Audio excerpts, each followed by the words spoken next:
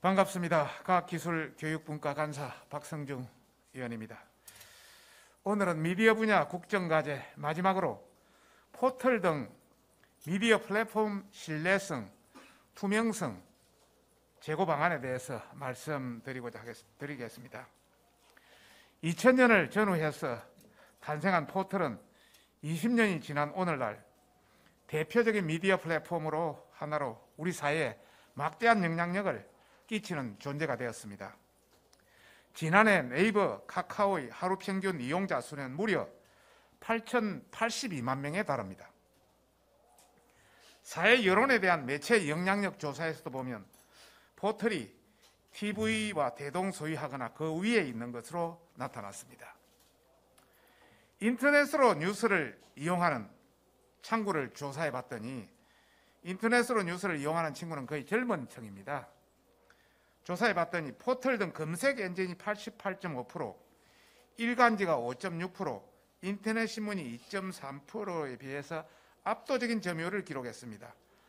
참고로 여러분 방송은 얼마나 될까요?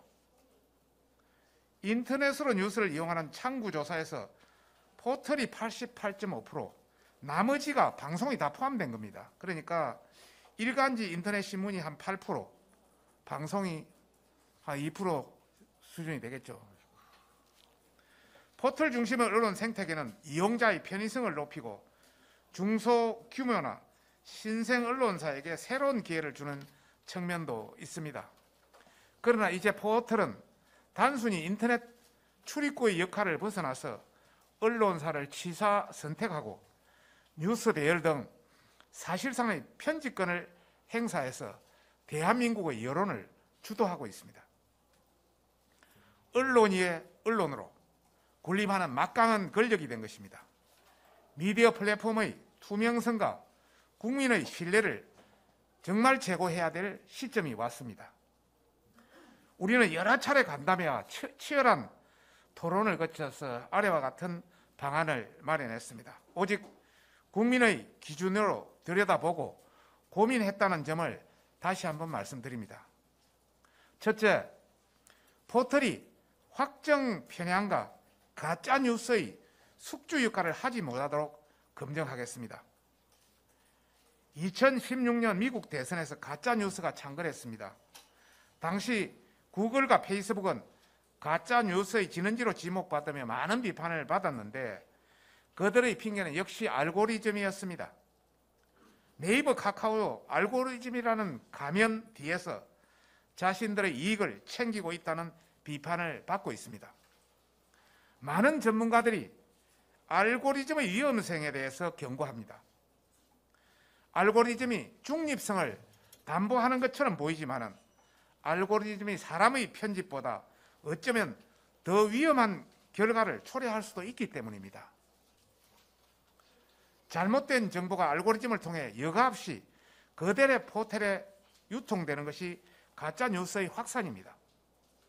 알고리즘이 허위 왜곡 뉴스를 걸러내기는 불가능합니다. 기계가 내용에 대해서 판단할 수 없기 때문입니다. 이에 전문가 중심의 가칭 알고리즘 투명성 위원회를 법적 기구로 포털 내에 설치하도록 하겠습니다. 정부가 검증에 직접 개입하는 시스템이 아니라 법으로 위원회의 인적 구성, 자격 요건, 업무 등을 규정하고 뉴스 등의 배열, 노출 등에 대해 알고리즘 기준을 검증해서 그 결과를 국민께 공개토록 하는 방식입니다. 필요하다면 중립적인 외부 기관으로 만들되 그 경우에도 정부의 역할은 위원회를 지원하는 것으로 한정하겠습니다. 둘째, 뉴스 제휴 평가위원회 재평이 목에 방울을 달겠습니다.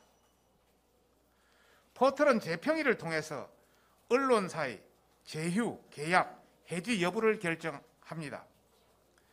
재평의는 뉴스의 품질을 평가하는 자율 규제 시스템을 도입했다는 측면에서 의미도 있습니다.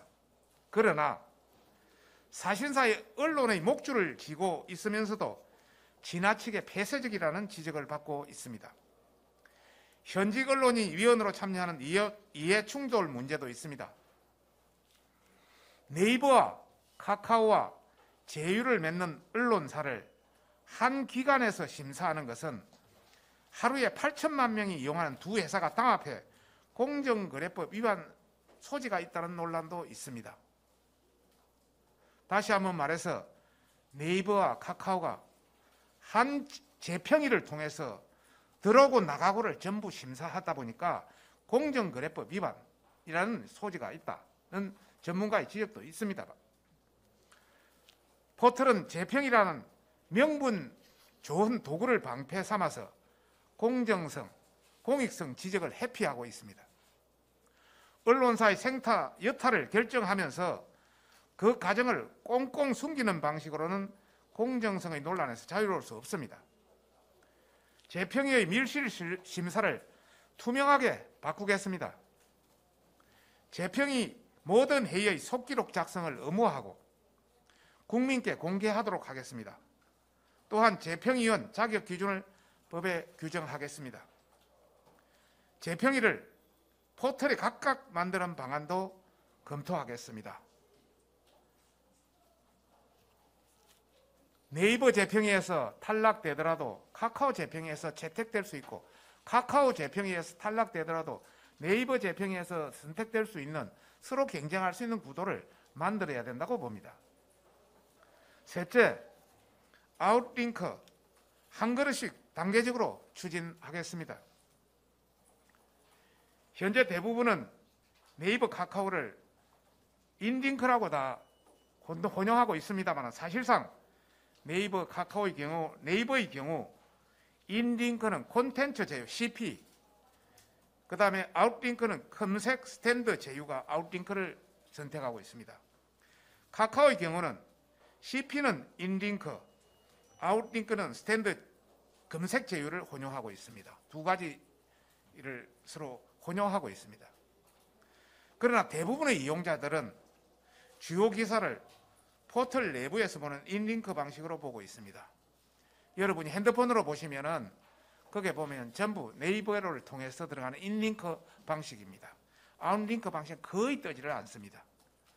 젊은이들은 거의 모든 기사를 in-link 방식으로 보고 있다는 그런 것이겠죠. in-link 방식은 이용자가 편리하고 자체 홈페이지 서버 구축이 어려운 중소 언론에도 혜택이 된다는 장점이 있습니다. 반면 가두리 양식장처럼 포털 내 트래픽을 증가시켜 포털 내 뉴스 광고 효과를 높이고 언론사에 대한 포털의 지배력을 강화한다는 측면도 있습니다. 언론사 노력의 산물인 기사로 소비자를 유인해서 돈을 버는 구조는 논란이 많은 방식입니다. 언론과 포털은 뉴스 생산에 노력한 만큼 기여한 만큼 이익이 서로 돌아가야 합니다. 또한 댓글 등을 통한 여론 조작이 상대적으로 쉽고 악성 댓글로 인한 사회적 폐해 등 치명적 단점도 있습니다. 뉴스 제목을 클릭하면 언론사로 넘어가는 아웃링크의 경우 언론사의 경쟁력과 독립성을 강화하지만 이용자의 불편이나 일부 언론사의 경영상 어려움을 야기할 수도 있고 클릭을 유도하기 자극적인 기사가 넘쳐날 수도 있습니다. 전면적인 outlink 전환이 시기상조라는 지적을 받는 이유입니다. 실제 여러분 우리 대표적인 검색 엔진 네이버를 보면은 네이버가 취하고 있는 inlink CP는 한 120개사에 불과하고 나머지 7, 800개사 거의는 outlink를 선택하고 있습니다. 이용자와 시장 혼란을 최소화하기 위해 긴 호흡으로 outlink로의 전환을 단계적으로 추진하겠습니다. 우선은 언론사의 선택권을 보장하면서 자발적인 outlink로의 전환을 유도하겠습니다. outlink의 효과를 세밀하게 분석하며 전면 전환을 준비하겠습니다. 전면 아웃링크의 도입 후에도 문제가 계속된다면 포털의 편집권을 없애는 방안도 검토하겠습니다. 이를테면 국내 포털의 시작 화면이 구글처럼 단순 검색창으로 바뀌는 것입니다.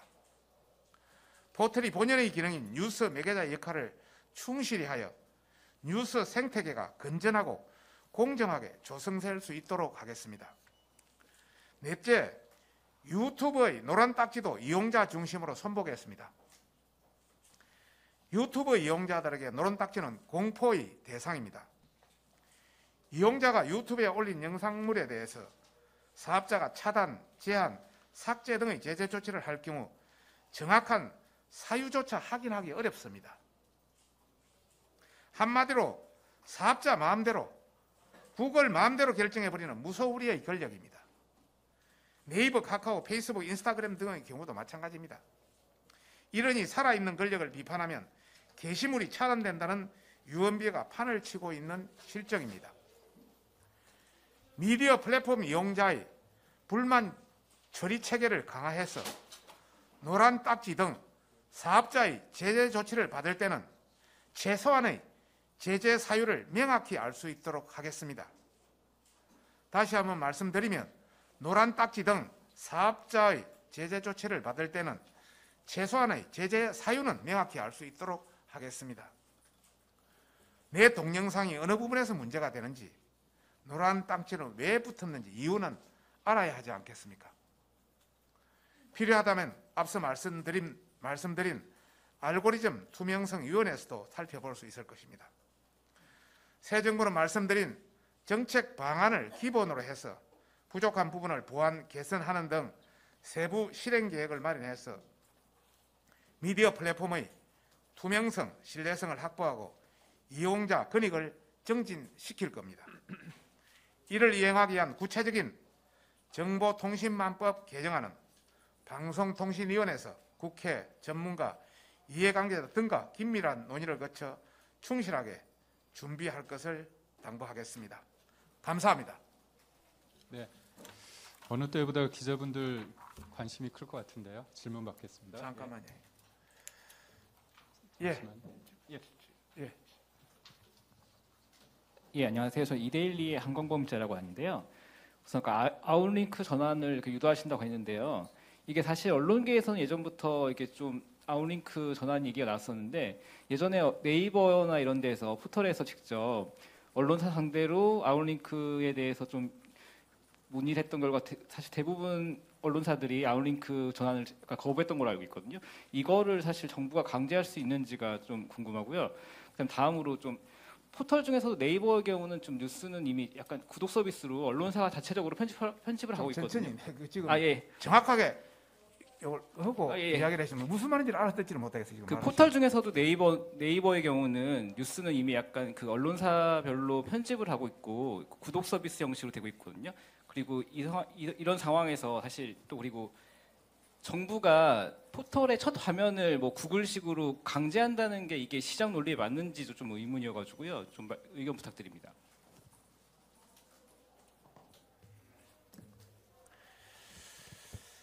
어, 다시 한번 우리 그 네이버와 다음 카카오를 한번 말씀드리면은 어, 정확한 수치는 지금 제가 그 여러분한테 공개하기가 뭐 좀 그렇습니다만 대략적인 수치만 공개하겠습니다. 네이버의 경우는 인링크가 한 120여 개사 네이버 안에 들어가 있는 게요. 네이버에는 CP 그러니까 컨텐츠 제휴, 그 다음에 뉴스 스탠드 제휴, 그 다음 검색 제휴 세 가지 형태가 있습니다. 그 CP 컨텐츠 제휴는 inlink로 하되 전재료까지 대가까지 지급하는 그런 방식입니다. 그런 회사가 한 120개 사 정도 되고요. 그 다음에 뉴스 스탠드와 검색 제휴가 한 700개 사 정도 되는 걸로 알고 있습니다. 그것은 outlink를 방식입니다. 그렇게 양쪽이 다 혼용, 혼용하고 있는 방식입니다. 우리가 그 완전히 inlink, outlink 뭐 별도로 하는 게 아니라 혼용하고 있다. 그 다음에 다음 카카오는 그 CP 컨텐츠 제휴가 한 100, 한 30개 사.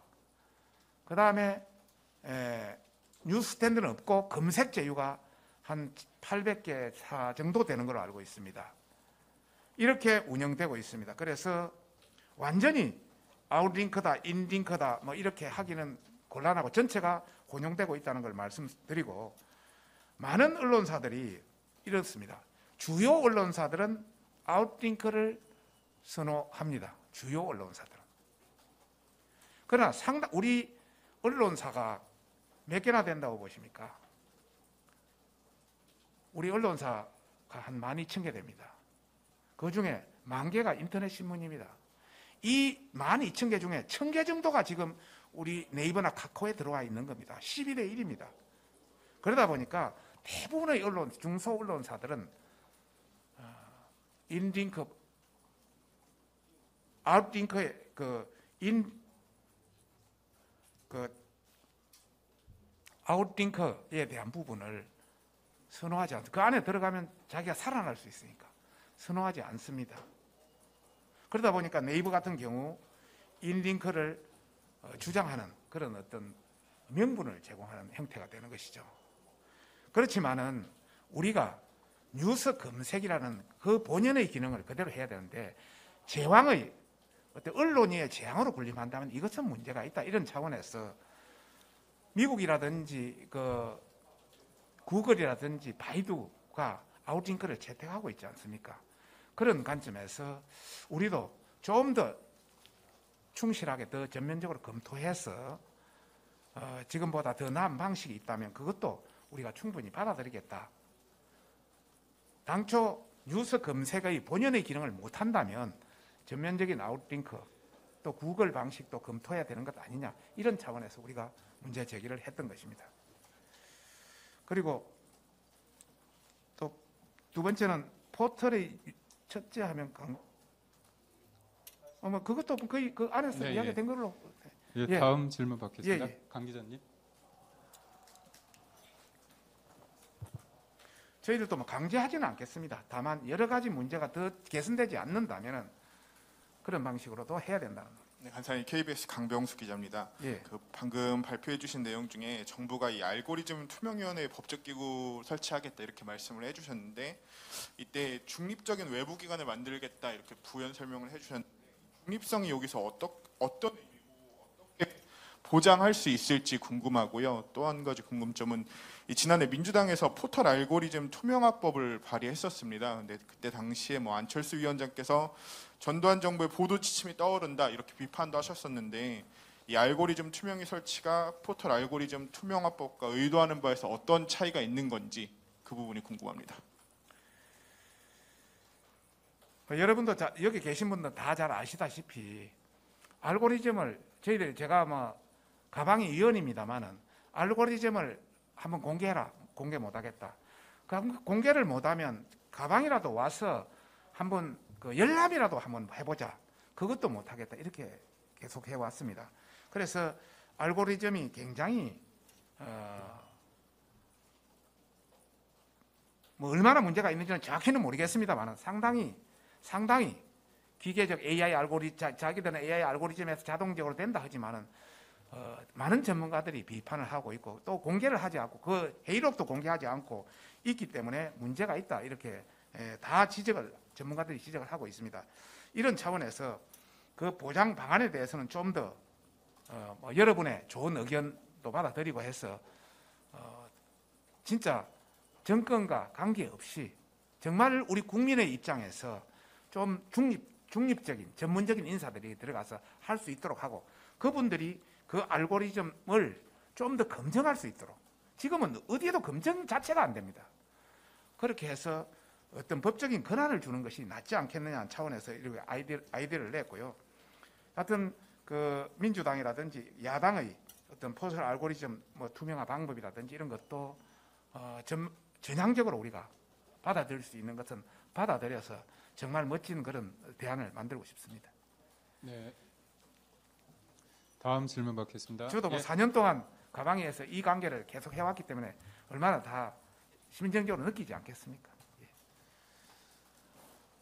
네, 위원님 TV조선 홍현주 기자입니다. 네. 저는 그 유튜브 노란 딱지 관련해서 좀 여쭙고 싶은데요. 예, 예. 이게 어, 논쟁이 된 지 몇 년 됐는데 오늘 사유를 공개해야 한다 이렇게 말씀하셨는데 해당 기업에게 뭐 정부가 정책으로나 관련 법으로나 이렇게 강제를 할 수 있는 건지 다른 나라의 경우 노란 딱지 제재 사유를 밝히는 경우가 있는지 뭐 구글 코리아와 관련해서 사전 교감은 있었는지 궁금합니다. 노란 딱지에 대한 부분은 아직 다른 나라에도 구체적으로 여기에 대한 것은 없는 걸로 알고 있습니다. 저희들이 최초로 시도를 하려고 하는 것이고요. 다만 우리가 모든 권한을 제한하거나 제재를 할 때는 거기에 합당한 이유가 있어야 됩니다. 이유도 없이 노란 딱지를 하루아침에 붙여서 광고가 차단된다든지 그거는 자기네 자기들의 권리를 침해하는 행위이기 때문에 이거는 법적으로 충분히 할 수 있다고 저희들은 그렇게 변호사들하고 어, 법률 전문가들하고 판단을 했습니다. 그래서 우리가 충분히 주도할 수 있다 이런 차원에서 하, 그, 하는 것이고요. 두 번째는 어떤 제재를 할 때는 반드시 거기에 합당한 사유가 있어야 되는 것 아니겠습니까? 그것은 세계 만국의 공통의 법 이론이라고 봅니다. 그런 차원에서 저희들은 자신감을 가지고 어, 추진해 나가겠습니다. 네. 예. 맨 뒤에 있분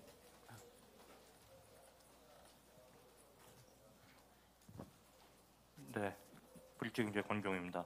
그 예. 지금 보니까 네이버 카카오에 대해서 어떻게 보면은 좀 강력한 제재를 가하겠다는 뜻으로도 보이는데 만약에 두 회사가 좀 반발한다면 나중에 뭐 법정 소송으로 갈 소지도 있어 보이는데 이 부분 어떻게 생각하십니까?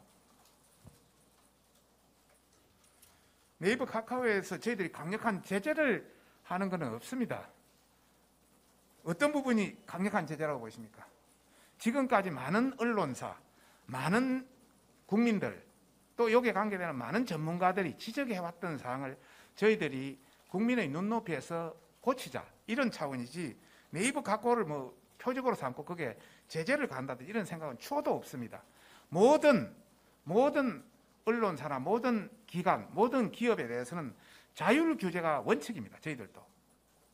그러나 자율 그대로 맡겨놨을 때 시장의 논리를 왜곡하고 너무 불합리하게 이 시장이 왜곡된다면 이것은 발로해야 되는 것이 정부의 네, 저는 권능이라고 생각합니다. 그런 차원에서 저희들이 뭐 이 예를 들어서 알고리즘 뭐 투명성 위원회 저희들이 알고리즘 투명성 위원회를 매- 만들어서 거기에 관여하겠다는 거 아닙니다.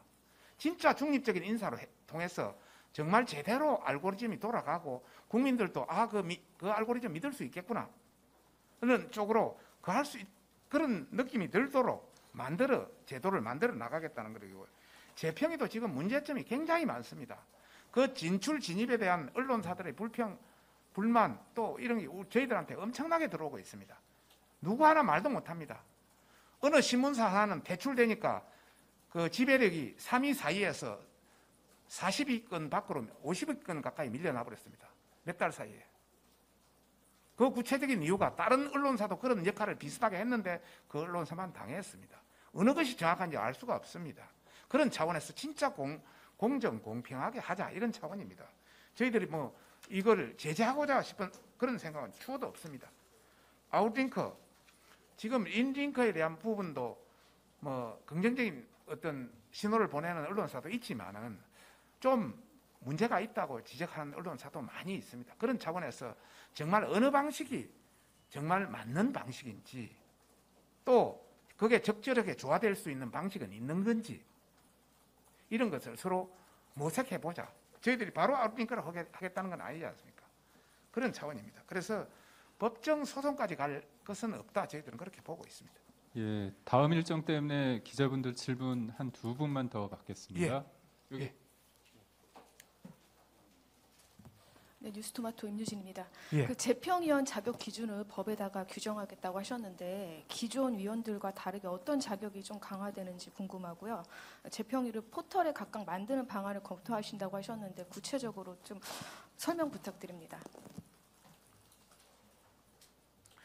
재평위원 기준에 대해서는 지금은 어, 15개 기관, 그 언론사를 포함해서 30명으로 구성되어 있습니다. 너무 한 저 좀 봐도 이게 어떤 기준에 의해서 어떤 쪽으로 어떻게 들어갔는지를 알 수가 없습니다. 자기들이 자체적으로 그냥 해버리다 보니까 힘 있는 쪽에 많이 들어갔는지 그래서 이것을 정말 또뭐 그 언론인도 많고요. 그래서 여러 가지 그 그게 탈락된 언론, 언론사라든지 이런 데서는 굉장히 문제가 많습니다. 탈락된 언론사, 못 들어간 언론사도 문제가 많고 뭐 여러 가지 문제를 엄청 제기합니다. 그런 차원에서 좀 더 누가 봐도 좀 공평하게 전문적이고 중립적이고 그런 인사로 구성이 돼야 되겠다. 그것은 요에 대한 기준에 관련해서는 어, 앞으로 추가적으로 더 많은 의견을 듣겠습니다. 어, 이분을 이번 그 어, 포털 관련해서도 어, 저희들이 전문가가 관계 기관 한 다- 네다섯 군데 이야기는 들었습니다만 앞으로 계속 들었어. 또 뭐 우리가 듣지 않는다면 저뭐 방통이라든지 이 관계 기관을 통해서 더 들어서 이제 기준을 그 더 중립적인 기준을 하겠고요. 포털의 재평이 각각의 기준은 지금 현재 네이버와 다음 카카오를 한 재평위에서 하고 있습니다. 그러다 보니까 한 쪽에서 같은 기준에 서 되니까 이것은 문제가 있다. 서로 많은 하루에도 8천만 명이 이용하는 사람들이 있는데 그 기준은 서로의 각자의 관점에서 달라야 되는데 그것이 경쟁 아닙니까? 이게 한쪽으로 몰려서 전체로 똑같이 한다면 이거는 가점이 독가점의 구조죠. 그래서 공정성의 측면에 여- 여러 가지 여지가 있다고 전문가들이 지적이 있었습니다. 그런 차원에서 어, 각각을 만드는 것이 오히려 바람직한 것 아니냐. 저희들은 그런 어떤 입장에서 이런 네. 이야기를 내놓았습니다. 마지막 질문 받겠습니다. 안녕하세요. 디지털 타임스 권준영입니다. 네네. 예, CP 언론사의 경우 네이버나 포털의 뉴스 제공 명목으로 일정 금액의 돈을 받고 있거든요. 포털에서 네이버도 그렇고. 근데 이제 CP를 점차적으로 없애겠다는 계획을 밝히셨는데 CP사들에게 정부 보조금을 그러면 보장을 해준다는 것인지 그거 일단 첫 번째고요. 두 번째는 모든 언론사가 outlink 방향으로 간다고 그렇게 말씀하셨는데 그러면은 언론사 각사 홈페이지에 뜨는 광고창 그 심화되는 문제에 대한 방안은 있는 것인지 그게 기사를 클릭하면은 광고가 떠가지고 못 본 그 소비자들이 잘 못 보는 불편함도 있는 걸로 알고 있거든요. 이 두 가지 여쭙겠습니다. 저희들이 CP 언론사를 뭐 줄이겠다 그런 말을 한 적은 없습니다. 그런 그런 건 없고 지금은 그 CP 언론 CP 언론사는 전재료를 주고 뉴스탠드나 검색 제휴 언론사는 그냥 outlink로 해가지고 지금 하는 방식을 CP는 inlink 나머지는 outlink 해가 혼용 방식을 쓰고 있다 이렇게 이야기했고요. 그래서 뭐 CP 언론사를 줄이니까 전재, 정부 보조금을 준다 그런 거는 추호도 생각이 없습니다.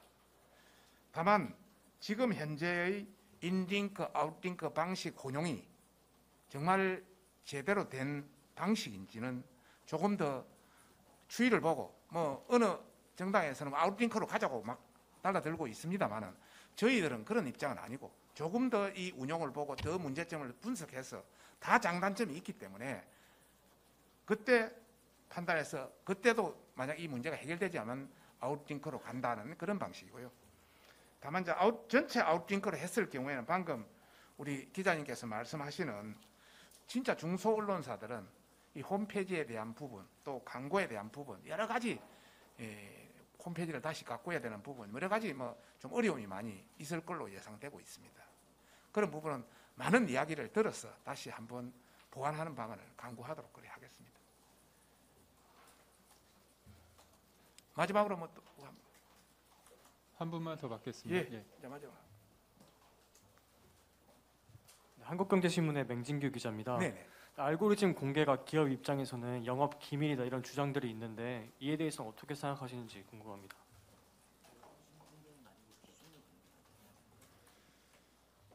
지금 알고리즘 저 구글의 알고리즘 공개를 지금 들어가서 한번 보시면 16개 항목인가 상세한 게 나와요. 상당히 상세하게 나와요. 그러나 더 자세한 건 없습니다. 그런데 우리 네이버라든지 알고리즘 공개를 한번 보면 뭐 추상성, 무선성, 공익성 뭐 이래가지고 그게 또 세 개 해가지고 아주 추상적으로 되어 있습니다.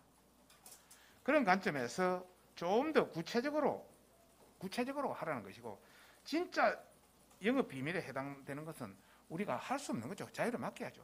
다만 알고리즘 투명성 위원회라든지 이런데 그 알고리즘의 상당 부분을 한번 검, 그, 검증을 받을 수 있도록 한다든지 그게 열람을 해서 어, 비판이나 토론을 받도록 한다든지 그렇게 해서 보완하고 수정해 나가야 된다는 그런 차원입니다. 여기에 뭐 정부가 개입할 생각은 추호도 없습니다. 그래서 한 방에 모든 것이 다 해결되지 않겠지만은 알고리즘도 점차 어, 우리 실정에 국민들 수준에 또 언론이 요구하는 수준에 맞게끔 자꾸 그 개선되어 나가야 된다는 것이 저희들의 취지입니다. 그럼 포털 뉴스 서비스의 신뢰성, 투명성 제고를 위한 정책 방향 브리핑 마치겠습니다. 수고하셨습니다.